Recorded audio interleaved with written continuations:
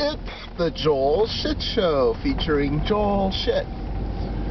Hi, welcome to the Joel's Hit Show. I'm your host, Joel Shit. Let's see. Yesterday, oh, there's a car. I'll wait for the car to be.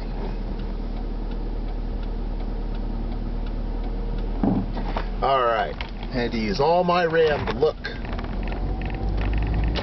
Yesterday, I worked from home and I got my taxes done. And I went to Morgan Hill and I said to my tax guy, here's my tax stuff.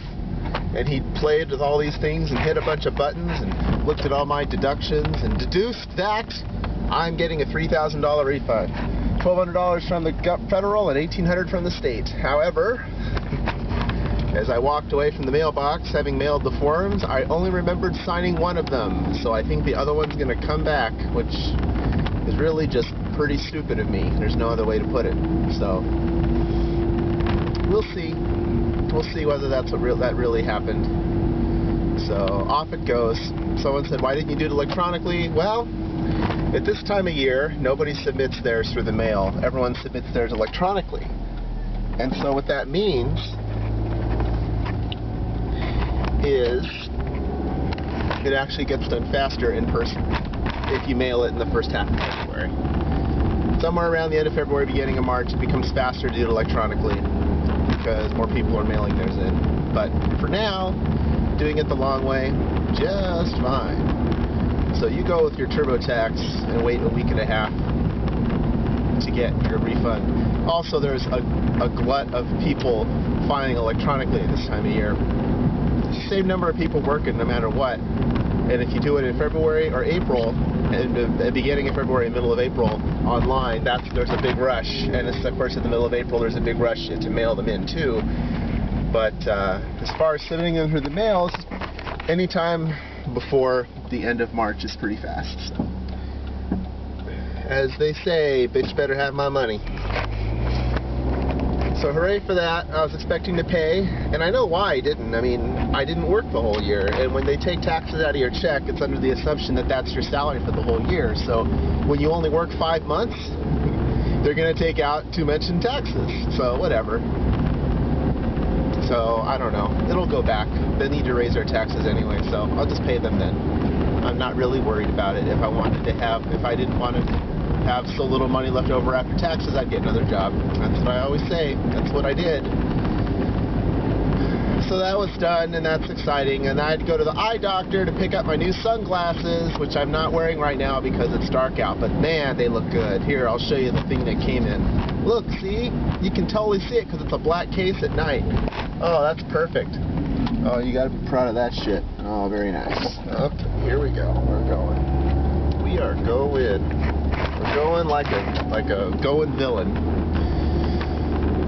And worked from home, worked on some orthopedic stuff.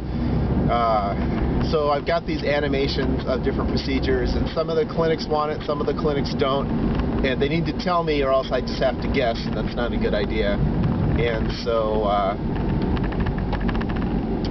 I heard back from another clinic yesterday, so that's four, six to go. And then after that, I guess it's just a matter of um, working with the hospital's website, because the hospital has an orthopedic website and the university has an orthopedic surgery website.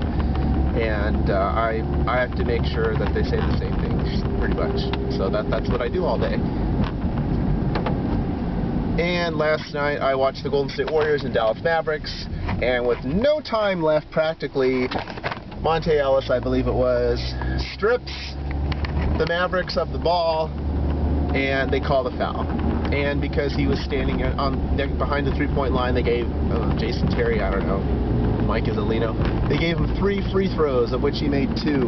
So at halftime it was 70-61 instead of 70-59. But first of all, it's a bad call because it was a clean strip, and they had to watch the replay to determine that it happened before the time expired.